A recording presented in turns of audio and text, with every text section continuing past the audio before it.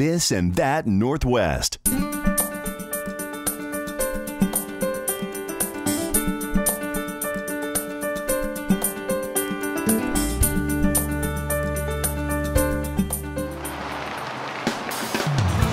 The Nisqually Wildlife Refuge, approximately 8 square miles of estuary where hundreds of fish species and wildlife pass through during their migrating journey.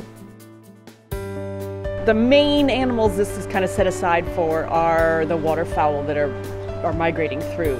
Um, we have over a thousand cackling geese here right now, and they've all just been showing up in the last couple of weeks. Um, other waterfowl, ducks, other geese, this is an important stopover for a lot of them on their migration route. So we're the, we're the all-you-can-eat diner. But there's mammals here as well. There are beaver and otters, and there's even some deer that run around on the refuge property. The little frogs are really popular with the kids, and the woolly bear caterpillars right now this time of year, they're all over the place. I was actually shocked at how beautiful it is out here. It's all open. It's really, really nice. The fall foliage is great. It smells like the ocean too out there. I like that. It's got a little bit for everybody. Uh, if you like hiking, there's a nice long hike out the pier. You know, I think it turns into a five mile loop. And if you just want to keep it short and simple, you just stay right here on the boardwalk. It's, it's pretty nice. It's really beautiful, like no matter what time of year you come, like there's always so much to see and it's just really nice even though today it's raining buckets, I mean, there's still such a nice scenery to look at.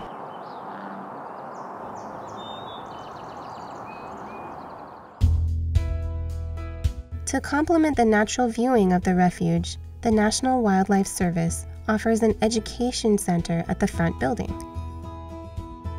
It's there where you can learn more through exhibits and books.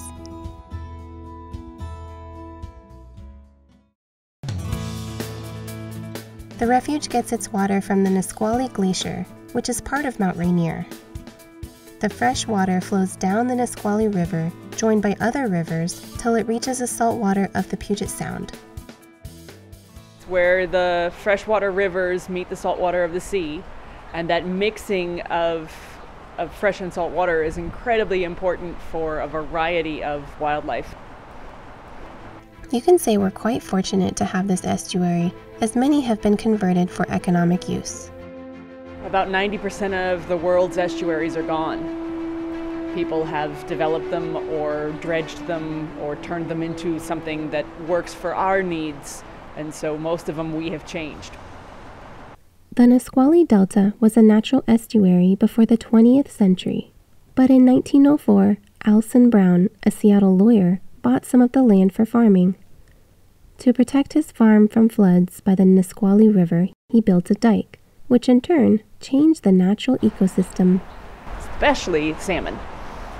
The Chinook salmon in Puget Sound are endangered because uh, they don't have enough estuaries to grow up in. There's plenty of rivers for the spawning, there's plenty of ocean for the adults, but those critical years in the middle, there was nowhere for them to grow up. So it, it was, wasn't working for a lot of populations of salmon. Eventually, the land went through several owners until it was sold to the National Wildlife Service in 1974, and the Nisqually Refuge was formed.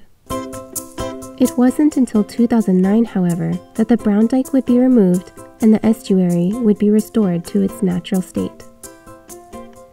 When the dikes were removed to increase the estuary area where the tides can come in and out, uh, boardwalk trails were built so that people can walk out over these mud flats at some times, and at other times you're walking out over Puget Sound. It's a neat area where you can get out over top of the water, look down, and directly below you there's jellyfish, there's seals, um, there have even been whales seen within the refuge boundary. They did a really good job building the boardwalk. It's really solid and it seems to be shedding the water even from the rain, so it's great You've somebody in a wheelchair out there and no worries. It's great for strollers, great to bring the family. It's just like a walk downtown pretty much, you know, except uh, you've got nature all around you. It's a lot of fun. We just saw a deer on the other deer. side once. We saw herons and baffins and seagulls. So we had a cormorant, that's right. So it was really, it was really nice. A couple songbirds, some black-tailed deer, a few Pacific tree frogs, beavers, eagles, an owl, kingfishers, gulls, geese.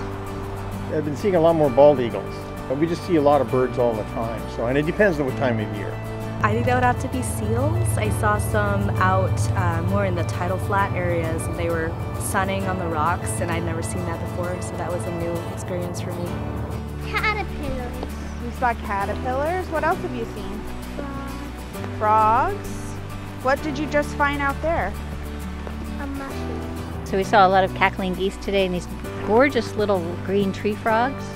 Heron, a seal out in the water, frogs, barn swallows, and a flock of herons, which was surprisingly large, and uh, a bunch of cormorants at the end, and yellow, uh, common yellow throat, and a bunch of uh, cowbirds and red-winged blackbirds and uh, tree swallows.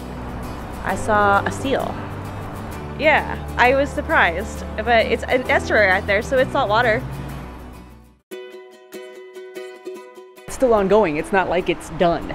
Um, some of the, the restoration of the estuary took place in 2009, and it was became a refuge in 1974. So it's an ongoing battle to try to keep it as natural as possible, restore what we can, make enhance it for wildlife and, and different habitats. And you're never done.